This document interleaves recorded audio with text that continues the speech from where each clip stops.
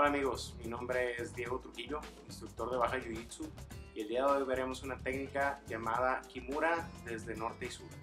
Comenzamos. Comenzando desde una posición de control, desde la guardia, y comenzaremos sujetando los bíceps, impidiendo que él mueva su cadera. Veremos un agarre, puede ser su kimono, puede ser su cinta, y pasaremos la guardia pondremos la pierna detrás de sus glúteos y romperemos su guardia pasando por encima de la pierna hacia el norte, hacia eh, control de 100 kilos.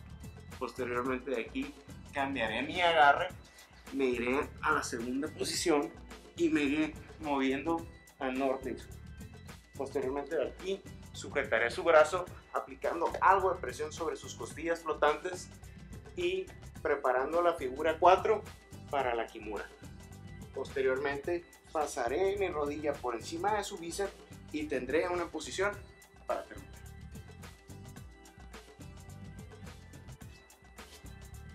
Es todo el día de hoy, muchas gracias.